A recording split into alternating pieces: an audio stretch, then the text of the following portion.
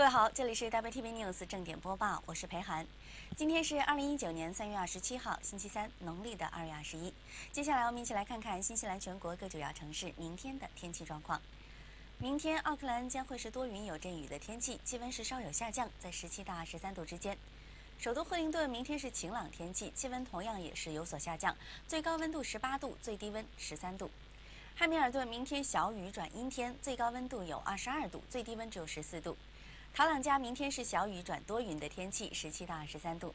基督城明天是多云天气，气温是在十到十七度之间。皇后镇明天是晴朗天气，最高温度十九度，最低温只有六度。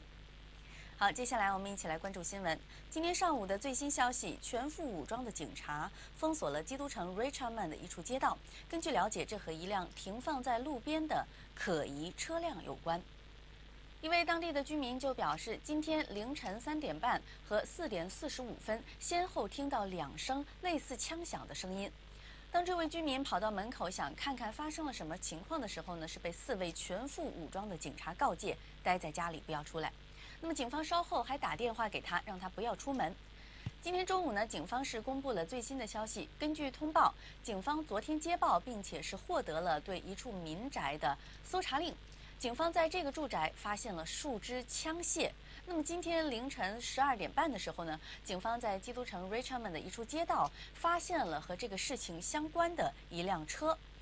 警方谈判小组和车主进行了长达数小时的谈判，警用直升机和全副武装的军警赶到现场支援。凌晨三点四十分，警官试图是靠近这个车的时候呢，发现啊，有一位五十多岁的男子身受重伤，倒在了车里。根据了解，这位男子受的是刀伤。警方在车里呢也发现了一把刀。虽然急救人员全力抢救，这位男子还是当场不治身亡。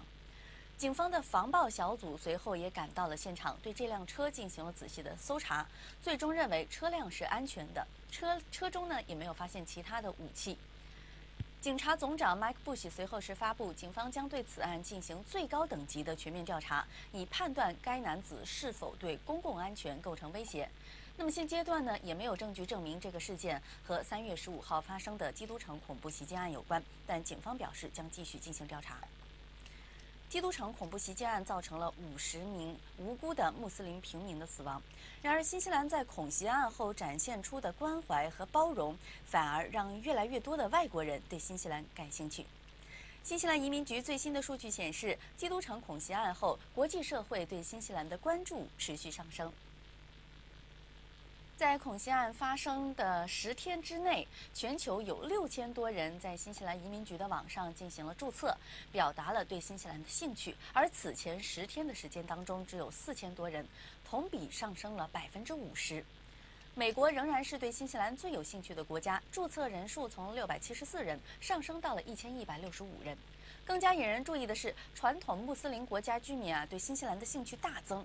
来自巴基斯坦的注册人数从六十五人上升到了三百三十三人，猛增了百分之五百一十二。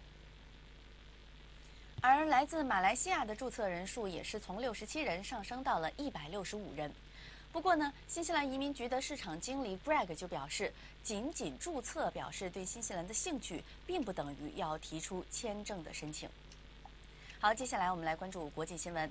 根据 CNN 报道，美国五角大楼通知国会已批准拨款十亿美元，在美墨边境建墙。此举是立即遭到了民主党议员的反对。今年二月的时候呢，美国总统特朗普宣布全国进入紧急状态，以筹集数十亿美元用于建墙。